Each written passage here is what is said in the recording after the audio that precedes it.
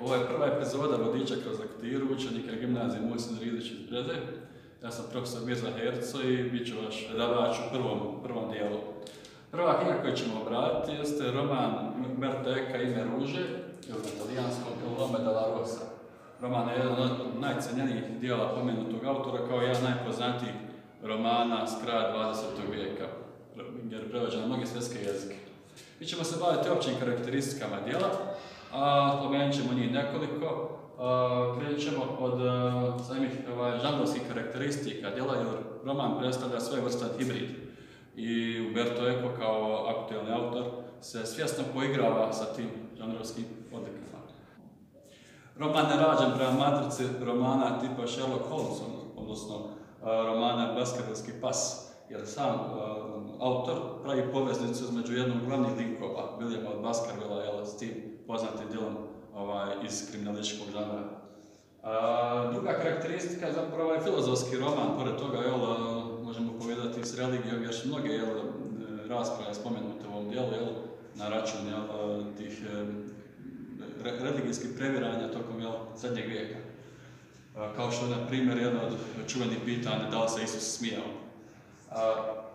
Treća karakteristika jeste zapravo novohistorijski roman, ono što smo već upoznali kod uh, književnosti uh, Ive Andrića ili Mešanje Selmovća, gdje se lažno roman smješta u tu prošlost, s tim da bi prikrio jel, stvarne namjere djela, odnosno stvarne teme koje poteže roman.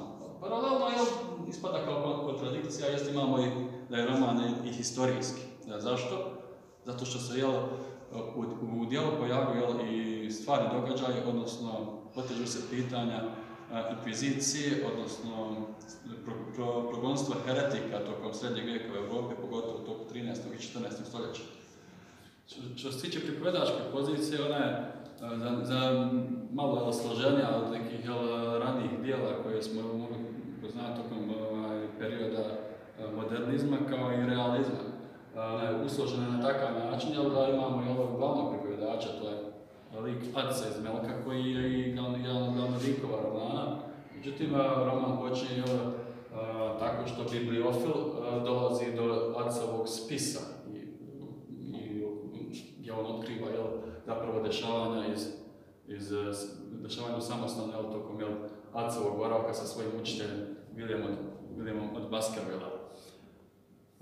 Imamo također dakle, tu okvirnu priču, kao što imamo jel, unutrašnju priču koju smo spomenuli jel, vezano za žanr kriminalističkog romana, odnosno imamo istragu ubistava, samo, jel, samostalno, jel, koja se dešava na misteriozan način, jel, gdje nam, jel, pripovedač tehnikom koja je primjenjena jel, u tim dijelima kriminalističkog žanra jel, dovodi do rješenja tih zagonetki, odnosno do samog ubojice. Što se tiče vremena i mjesta dešavanja, povezano naravno sa pripovedačkom pozicijom, mogu se spomenuti dva vremena, to je ovaj, okvirno vrijeme i vrijeme priče, kao ovaj, znači, vrijeme kada se otkriva taj spis koji je ta neki nepoznati bibliofil jel, pronalazi, što možemo smjestiti u savremeni prezent, možemo povedati s aktualnim autorom, ali treba izbjegavati takve poveznice. kao i vrijeme priče, koja je, e, koja je smještena u 14. stoljeću. Dakle, ovo bi bio uvod u sam roman, a, samo ostala značenja, jel, čitali ste trebali da pronađu sami za sebe. Doviđenja do sljedeće epizode.